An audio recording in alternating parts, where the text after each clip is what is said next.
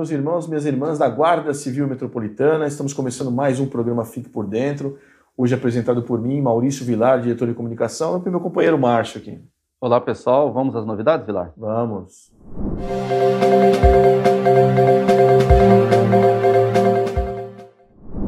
Bom, Vilar, estamos começando esse programa. A gente está gravando hoje numa quinta-feira, né, 1 de abril, que é conhecido como o Dia da Mentira, mas tem que falar uma verdade aqui que aconteceu essa semana, desagradável, desagradável. Mais uma vez, alguém, por não prender a língua dentro da boca, sai falando para mais e fala bobeira. E dessa vez foi uma pessoa que tem uma notoriedade política né, no, no, no, Brasil e falou uma, uma bobeira gigantesca, Vilar. Pode falar sobre isso? Sim. Infelizmente, né, o ex-deputado Roberto Jefferson, né, numa live lá com um vereador de Juiz de Fora, fez né, um, umas falas lá criticando o, o, a estratégia que está sendo adotada aí de combate ao Covid, né, de algumas prefeituras, a utilização das guardas municipais nesse combate, essa utilização é diferente em algumas cidades, cada cidade aplica a atuação da guarda de uma forma diferente, né, conforme a legislação daquele município. E o, ex-deputado Roberto Jefferson, ele incentiva as pessoas a surgirem, inclusive é, é, aplicar força física contra o trabalho das guardas municipais. Violência, você quer dizer? Né? Violência, né? violência. Né? E aí o que acontece? É... Quando um presidente de um partido político utiliza as mídias sociais para fazer isso, isso pode nos causar um grande problema. Né? Eu estava vendo um vídeo aqui agora há pouco, também no Facebook, Guarda Municipal do Rio de Janeiro fazendo um, um, um rebocando um veículo. E aí, a pessoa filmando lá, né, na rua, já virou lá um alarde e tal. Aí quando você para para olhar o vídeo, o veículo está estacionado numa vaga de deficientes. Isso quer dizer o seguinte: o agente de trânsito chegou lá, o carro está irregularmente estacionado na vaga, cabe reboque, vai rebocar o veículo. Aí ele desloca o veículo para acima da faixa de pedestre. Para quê?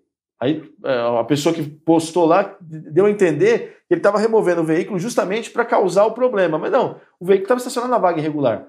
Essa remoção foi para inchar o veículo. Agora você imagina o transtorno que esse agente teve que passar lá na ponta da linha. É. Né? Então, ou seja, quando uma pessoa notória vai até a internet e faz aquela blasfêmia, aquele, aquele ato criminoso, né? criminoso o ato do Roberto Jefferson, isso coloca em xeque muitas coisas. Né? Nós estamos vivendo um momento conturbado, né? Nós tivemos aí a saída dos três comandantes das Forças Armadas, né? Então, um momento delicado para o país. Eu, eu, nunca tinha visto isso. Nem eu. Os três comandantes de Forças Armadas pedir, pedir demissão do cargo. E aí o que acontece? Será que essa fala do Roberto Jefferson, será que não é para jogar mais lenha na fogueira? Para ver o negócio pegar fogo mesmo? Né? A FENAGUARD, o Sindiguarda já estão estudando medidas que vão ser é, encaminhadas aí contra né, o, o, Roberto Jefferson por essa fala dele, né? E eu quero aproveitar aqui, nós, a gente criticou, eu critiquei pessoalmente né, no, nas, minhas, nas minhas redes sociais, a gente está aqui fazendo essa fala dura contra o, o, Roberto Jefferson, mas nós temos que enaltecer quando uma pessoa ela pede desculpas por algo que fez errado. Uhum. Não é o caso do Roberto Jefferson, porque até agora não pediu desculpa. Na verdade, ele tenta justificar a fala dele. E pior. Né? né? É, o que é pior, né? A emenda está pior que o soneto, né? Mas aqui eu quero, eu quero, eu quero enaltecer aqui a fala do vereador Sargento Melo Casal, vereador lá de Juiz de Fora. Era ele quem estava na, na live, na live com o Roberto Jefferson, e ele, ele pede desculpas por não ter é, intervido, uhum. né? De, de tomar uma posição, falando, não, peraí, você não pode falar isso. Agora, ele é um ser humano. Sim. E nós, como ser humano, seres humanos, somos passíveis de erro. Agora, ele ainda teve a humildade né, de pedir desculpas. Não é uhum. o caso do Roberto Jefferson. É. Não, na minha opinião, o Vilar, o que acontece? É, o grande erro do Roberto Jefferson está acontecendo justamente na polarização da política, que é, é, é, incentivar a violência, né? Quando se faz uma discussão de ideologia. Sim. Né? A discussão de ideologia é válida, toda democracia tem. Agora, não dá para incitar a violência por meio disso, né? Sim. E principalmente, não dá para matar o, o, carteiro, o correspondente, né? o cara traz uma, uma mensagem do rei, Aí eu vou lá e mato o, o, o uhum. correspondente porque eu não gostei da mensagem do rei, né?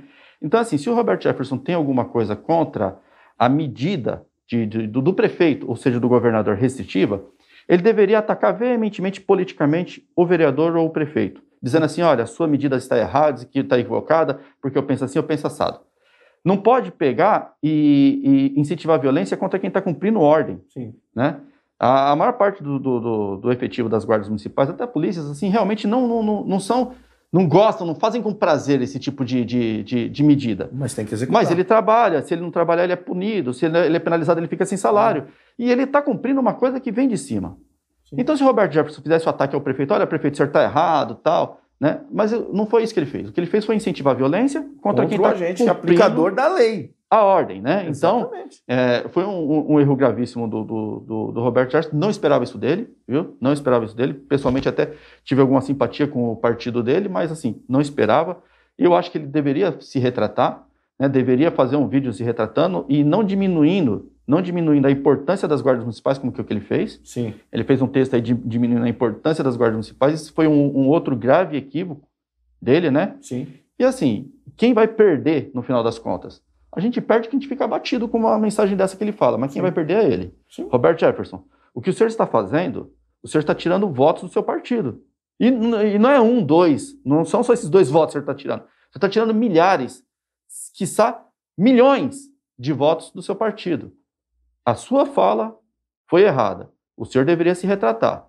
Mas, se não quiser se retratar, quem vai pagar o preço é o seu partido. Sem dúvida.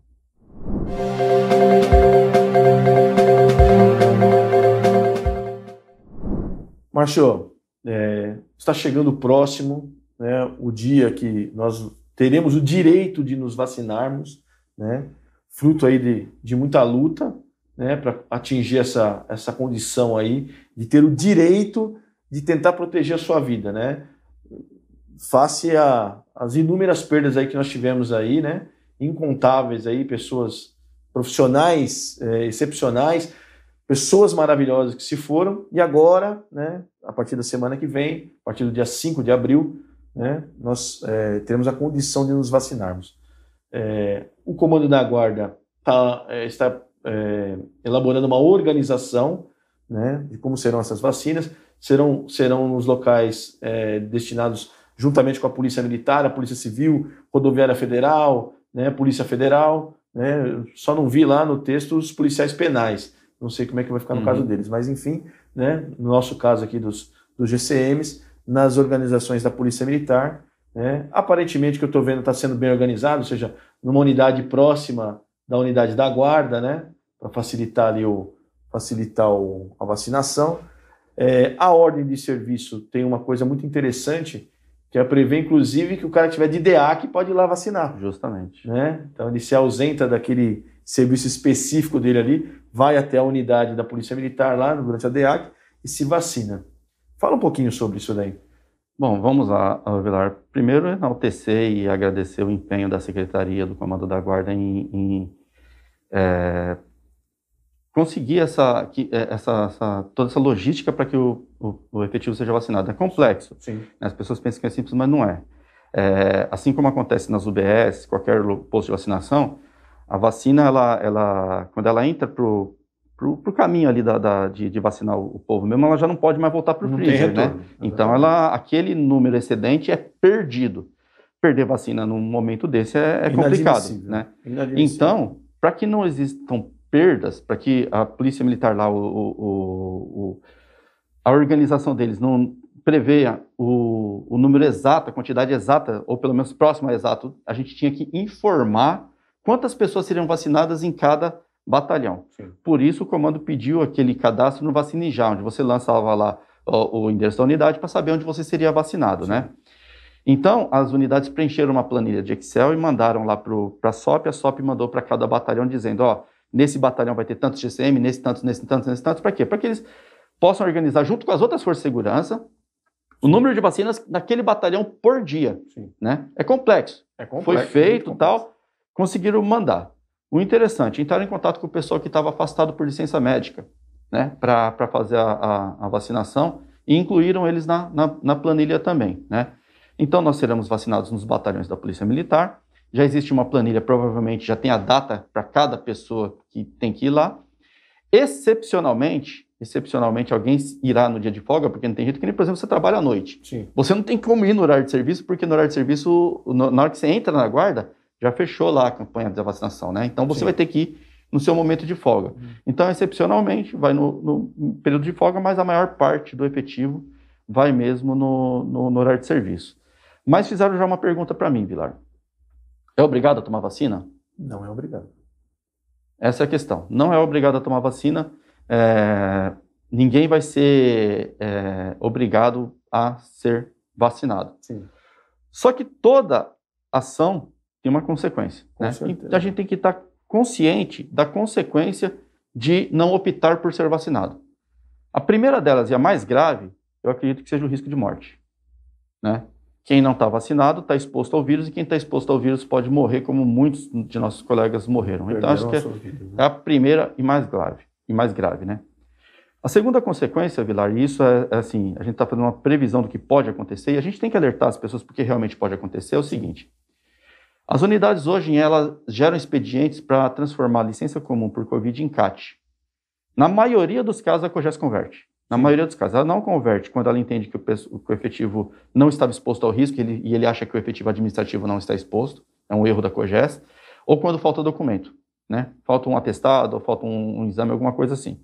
Mas normalmente, quando chega lá o expediente com atestado, exame e, e atividade operacional, normalmente eles converte. Pode ser que a COGES exige, além desses documentos, o comprovante de imunização. Até mesmo por causa de uma questão estatística. Sim. É preciso saber quem já foi imunizado e realmente contraiu o vírus. Né? Então, pode ser que eles exijam isso. Então, pode ser que isso dê algum problema é, na questão do, do, do, da transformação da licença comum em CAT para o servidor que eventualmente abrir mão da vacina e falar, olha, eu não quero ser vacinado. Então, isso... Porque a vacinação é um EPI. Sim. É um equipamento de proteção individual. Quando você deliberadamente fala, eu não vou usar esse EPI, você está assumindo a consequência do não uso dele. Exatamente. Né? Você recebeu um colete, por lei você é obrigado a usar o colete. Sim. Mas se você fala assim, eu não vou usar esse colete, tem uma consequência. Essa consequência normalmente vai ser imputada a quem optou pelo não uso. Sim. Né? Não é que o acidente não exista, o acidente existe.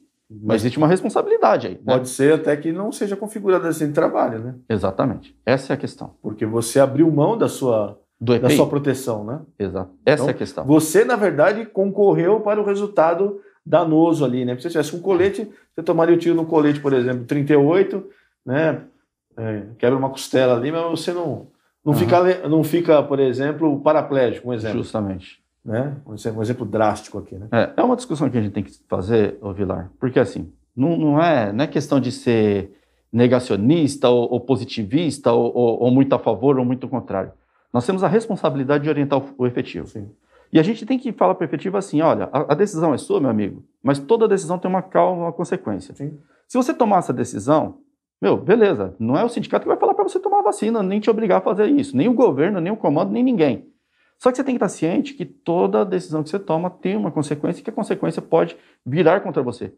E eu falo principalmente na questão de, de um vírus te pegar. Oh, né? Márcio, eu vou dar um exemplo aqui, pessoal. Meus filhos, desde 2019, moram nos Estados Unidos. Uhum. Não os vejo desde 2019. Então, estou morrendo de saudade. Né? Eu quero, é, estou ansioso para vacinar, porque talvez vacinado eu tenha o direito de visitá-lo nos Estados Unidos. Agora, se eu abro mão de, de, de vacinar, falo, não, não sei, não vou, não vou me vacinar, você acha que o, o, país, os Estados Unidos vão permitir que eu entre lá sem estar vacinado? Pois é. Dificilmente você... não, né? É, assim, o, o, o, risco de eu não conseguir entrar nos Estados Unidos é imenso. E, né? e antes mesmo do Covid, né? A, a, viagens internacionais Sim, febre amarela, febre né? amarela e malária. Exatamente. Se você não né? apresentar essas duas vacinas, é, não, não tem, tem, essa a discussão né? especificamente do Covid, né? Uhum. né? Vacina de A, de B, de C, enfim. Né? O fato é o seguinte: se você, se você toma vacina, você amplia as suas possibilidades de não morrer. Sim. Né? Não quer dizer que você vai tomar vacina e você não vai morrer. Não é isso. Você amplia as possibilidades. Né? Você, você é, é, dá margem para que, que a sua saúde tenha uma chance de sobrevida. Pode ser, como já aconteceu de colegas que trabalharam comigo, pegaram a Covid e não sentiram nada. Uhum. Né? No, no, muito eles falam assim, ah, não sentiu o, o, o, o cheiro, né? o sabor da comida. Contudo, Leo Clécio, nós saímos aqui do último programa gravado e aí né, tive a notícia terrível lá do falecimento dele. Né? Então, ou seja, quiçá, eu tenho certeza que ele, né, se estivesse vivo, a família dele, então, gostaria que ele tivesse vacinado. Né? Porque uhum. as chances dele de estar conosco aqui seriam imensas. Então, uhum. ou seja, o calendário está caminhando para vacinação. Né? Eu vou dar o meu conselho pessoal aqui: vacine-se. A opção está aí, nós lutamos para você ter o direito de se vacinar. Então vai lá, se vacine, né? E os casos esporádicos aí da, da questão do, do, do, banco de horas ou não, o sindicato vai defender todo e qualquer trabalhador que tiver um problema, que tiver amparado em, em normas. Sim. Né? O nosso jurídico está aqui para isso, desde que você seja sindicalizado, e a importância de estar sindicalizado, né? É. Garantir o, os seus direitos aqui através do nosso, nosso jurídico. É. Bom, é, se Deus quiser, em uma semana nós teremos 99% do efetivo vacinado. Se Deus quiser. E, e assim, para mim isso traz um alívio, cara. Perder mais amigos. O Léo Clécio é um grande amigo. Perder mais amigos aqui ninguém aguenta, cara. Verdade. É, a, a, a, vacina é a, a luz no fim do túnel. É isso aí.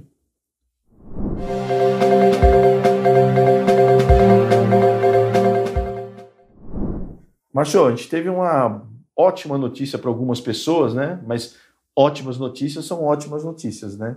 Nós tivemos há um tempo atrás é, a, a Câmara de Vereadores aqui de São Paulo aprovou a emenda 39, que naquela época garantia uma aposentadoria diferenciada aqui para os guardas civis metropolitanos. Infelizmente, o Tribunal de Justiça entendeu que era inconstitucional e algumas pessoas é, optaram em não se aposentar, mas tinham o direito de receber o abono permanência. Conta para nós como foi essa, essa boa notícia? Bom, bacana, Vilar. A primeira coisa que a gente tem que fazer é tirar as dúvidas do pessoal a respeito dessa decisão, né? Que essa decisão pôs fim ao processo. É a última decisão, não cabe mais recurso, não cabe mais nada, tá? É... O que as pessoas me perguntam, né? Márcio, mas com essa decisão eu volto a receber o abono de permanência? A resposta é não. Aquele não. Você pode receber o abono de permanência por uma outra regra previdenciária, não por aquela. Pela emenda 39, aquele abono está extinto, né? Então, explicando. A emenda 39 foi, é, foi aprovada na Câmara Municipal, passou a ser vigente com efeito. Quem queria se aposentar, se aposentou. Quem não queria, ficou nativa recebendo de apoio de permanência. Passados alguns meses da, da, da, aprovação dela, ela foi declarada inconstitucional. Significa que aquele, a partir daquele momento é como se aquela norma não existisse mais. Sim. Então, quem recebia o abono de permanência deixou de receber naquele mês da decisão. Ele não recebia mais. Só que alguns meses ele recebeu. Sim. Né? Aí vamos dar um exemplo aqui, o colega que recebia lá, sei lá, 600 reais de abono de permanência por mês e acumulou lá 8 mil reais de abono de permanência. Ele recebeu esses 8 mil reais. O que, que a DRH fez quando a, a, a, emenda foi declarada inconstitucional? Ela chamou esse pessoal e falou assim, ó, você me deve 8 mil reais. Então eu vou fazer aqui um, um carnezinho das Casas Bahia para você e todo mês vai descontar um valor aqui para você até chegar nesses 8 mil reais. Grande parte do, do, do, dos colegas foram lá e assinaram o, o, o termo de, de, de, de, dívida lá, de débito e tal. Outros não assinaram e tal. Mas a gente entendeu como ilegal tomar o dinheiro de volta, mesmo que a emenda, mesmo que a emenda foi declarada inconstitucional. Por quê? Porque quem recebeu, recebeu de boa fé. Sim. Não agiu com nada de legal, de ilícito para receber. Sim. E nós temos súmulas do STJ dizendo que aquele que recebe por boa fé, por erro da administração, não tem que devolver. Sim. Né? Então a gente pegou essa súmula e entrou com uma ação justamente nessa súmula. Olha, é, independente da, da, perda que a gente teve de, de, da, da, da, lei ser declarada inconstitucional, quem recebeu não, não, não, precisa devolver, não, porque ele recebeu de boa fé.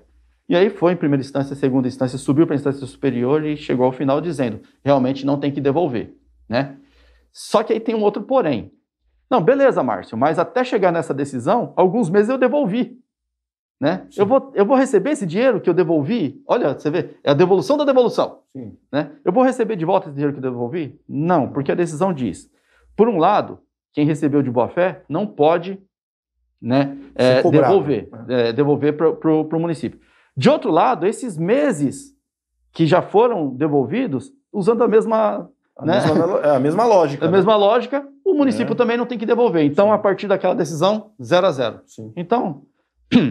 é, aquela dívida que você tinha, que eu usei o exemplo aqui de 8 mil reais, Você tinha essa dívida com o município, essa dívida não, não existe mais. Você não deve mais nada para o município, tá bom? Você vai receber o abono de permanência pela emenda 39 nunca mais.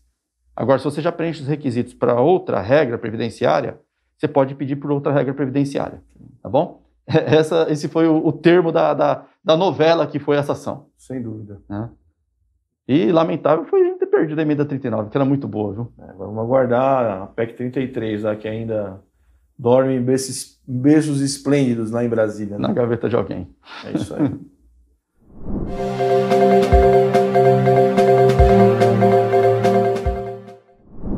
Marchou, é, a gente conversa aqui das coisas, as, as, as tomadas de decisão aqui do, do, sindicato, né, as coisas que a gente faz, e você apresentou uma excelente, no meu ponto de vista, uma excelente notícia aqui para nós, para a diretoria, e que agora nós vamos compartilhar aqui com os nossos, os nossos associados, os nossos amigos, né, da Guarda Civil Metropolitana e de outras guardas também, porque às vezes é, as pessoas nos perguntam, olha, você tem um modelo disso ou daquilo, né? E aí, às vezes, não tem onde acessar isso daí. Uhum. E, né? e agora o site do Guardas vai ter essa novidade. Fala para nós. Justamente, Vilar. É, um dos deveres de todo servidor municipal, inclusive da Guarda Civil Metropolitana, é estar em dia com normas, regimentos, regulamentos que dizem respeito à sua função. Só que é difícil você encontrar isso, né? Às vezes, na sua própria unidade, você preleciona lá, você é subinspetor, você preleciona lá uma, uma norma, uma ordem de serviço em 2015. Lá em 2017 já não se encontra mais, se perdeu em algum lugar e tal. Nós criamos um link na página do Sindiguardas que chama legislação. Se abrir lá a página sindiguardas-sp.org.br, naquela barra central ali onde tem as ferramentas, você vai lá, está escrito lá legislação. Você clica nele, tem já uma gama de legislações ali que são é, pertinentes à Guarda Civil Metropolitana, que o colega só clica nela, já abre um PDFzinho, ele baixa, está no celular, está salvo, ele consulta facilmente. É isso aí. E é um link em crescimento. Por quê? Porque nós vamos ali adicionar todas as, as normas que dizem respeito à Guarda Civil a, a partir da, da, edição delas ou da demanda. Vamos, vamos, supor que você sentiu falta lá de uma, de uma norma qualquer que você queira. Se você tem ela, manda ela para a gente, a gente sobe ela no site. Se você não tem ela, a gente vai procurar Sim. e vai subir no site, né? Está é, tá em construção, mas já tem lá, já tem mais de 60 normas lá, né? As mais específicas. E tem norma ali por exemplo, o ofício 21 da COGEP, que ela fala de pertinência temática. Em lugar nenhum você vai achar essa norma. Nós achamos ela no processo judicial, baixamos e colocamos no site, que ela fala quais é os cursos que valem que não valem para questão de evolução na carreira, progressão e promoção vertical. Né? Uma norma assim que não é, é fácil de achar, está lá no site do Sindiguardas. Né? Mas principalmente, participe. Você tem uma norma que não está no site, você gostaria de compartilhá-la lá, uma ordem de serviço que chegou específica tal, dessas difíceis de achar, né? Eu vou colocar lá a ordem 007, que é aquela que fala da avaliação psicológica no dia de folga tal. Manda para a gente no Fale Conosco, fale conosco, arroba sindiguardas-sp.org.br e peça, a gente vai lá, sobe ela no site lá. Esse site vai servir como um banco de dados, de normas, para que todo mundo tenha uma consulta fácil, né? Sim. Um acesso fácil. Clicou, baixou, está no PDF, está no celular, eu leio, né? Para poder se resguardar, para poder estar tá em dia. Vai ter formulário lá, inclusive uma das, uma das, algumas das normas, ela pede o, o, preenchimento de algum formulário específico. O formulário vai estar em anexo também. Né? É mais um serviço prestado ao. Esse é aberto, né? Esse é o associado e é o não associado. Isso. e um excelente serviço, né? Um é. excelente serviço. Tanto para nós aqui de São Paulo, como colegas de outras guardas, por exemplo, o plano de carreira, né? algum regulamento disciplinar, regulamento de uniforme, né? Para algumas guardas. Então, é uma notícia, do meu ponto de vista, extraordinária. Aproveitem, né? É o seu Sim de Guardas trabalhando para você. Acessa lá, gente. Acessa lá é, e, assim, compartilha o link, né? É isso aí. Você quer ter um colega que está em dúvida, fala assim, ó, manda, acessa esse link aqui do Guardas que você vai ter a, acesso às normas. Inclusive, no plano de uniformes já tem todas que são pertinentes ao uniforme de São Paulo, já estão lá. Estão no, no link. Chegamos ao final de mais um programa Fique por Dentro. Se você não é inscrito, se inscreva. Se já é inscrito, clique no sino de notificações, dê um like e fique por dentro.